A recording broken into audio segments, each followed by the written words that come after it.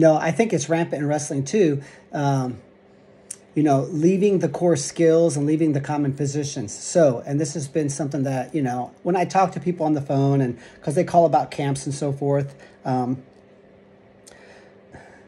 I always mention this. You know, the problem with wrestling is we have five year olds whose coach has them practicing uh, how to score from a Russian two on one, which is like a side control of the arm, you could say. Um, and then we have eight 18 year old men, young men who have wrestled since they were six, drilling half Nelsons. And I'm like, this is just stupid, right? So in, re- in gymnastics, we have levels, right? There's a level seven gymnast on the balance beam is doing the same skills no matter if she's in Maryland or Canada or Texas or, or Arkansas, wherever.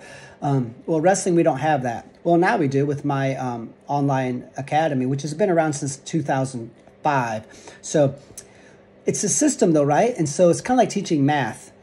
So, you know, you're not going to teach uh, algebra 2 until you have done pre-algebra and, and long division okay so that's the thing and that's, that's what you're talking about in jiu-jitsu is the coaches and the athletes are interested in trying to to learn trigonometry when they don't even know long division yet so they should be prioritizing um, but for from a wrestling standpoint and i think it's the same in jiu-jitsu and I'm gonna I'm gonna sound sound like I'm gonna piss off a lot of coaches here, but you are at the mercy of your coach.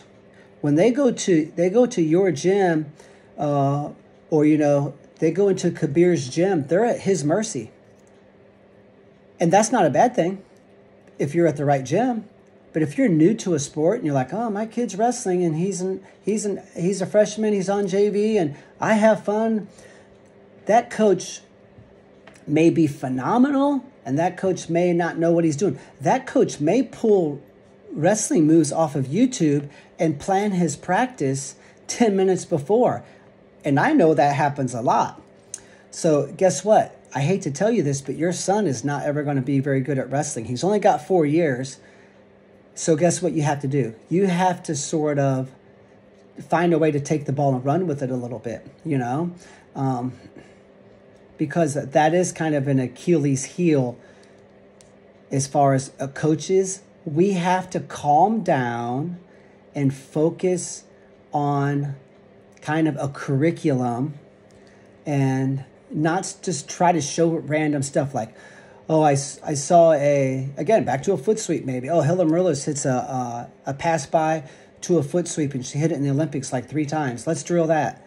I'm like, bro, you can't. Your guys can't even hit a single leg to a quick change off. They can't knee slide on bottom. They give up their arms on bottom. You know, they're too easy to stab down. Your kid has a left-handed wrestling stance, but he's right-handed. Oh, I didn't know that. Yeah, I mean, they're never going to win. How long have they wrestled? Seven years. I'm like, you wrestled seven years and you're right-handed.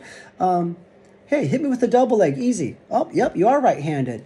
You got to get your right foot forward. Oh, I can't do that. I've been wrestling for seven years. I'm like, this is a problem. So, you know, the listeners need to understand that you are, in fact, at the mercy of a coach. And uh, you better make sure that your coach is doing a great job. And the coach is listening to this. You need to understand that your kids are at your mercy. You got to make sure that you focus your efforts and make them very good at wrestling. And you don't do that by just showing random techniques.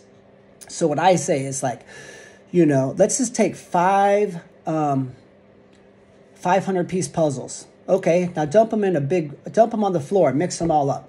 I'm like, okay, we're gonna make, we're gonna put this puzzle together. And you're like, dude, you, let's separate the pieces first, and then we have a fighting chance. No, we're not even gonna do that. We're just gonna dig through here and try to put the puzzle together. Okay, kids, you wanna help? I mean, that's how we teach wrestling in America, and I'm sure jujitsu.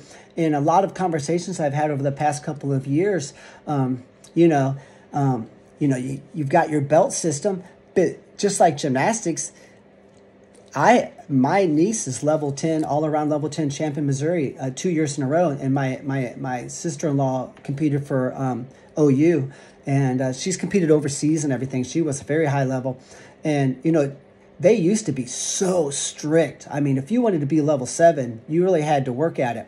Now sometimes, uh, you know, I know in jujitsu certain gyms kind of just give belts away just like karate classes do too, right? I mean, everybody's a black belt. Seems like.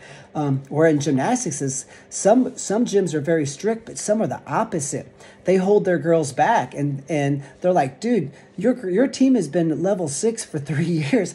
You've won state three years in a row. You got to promote those girls to level seven.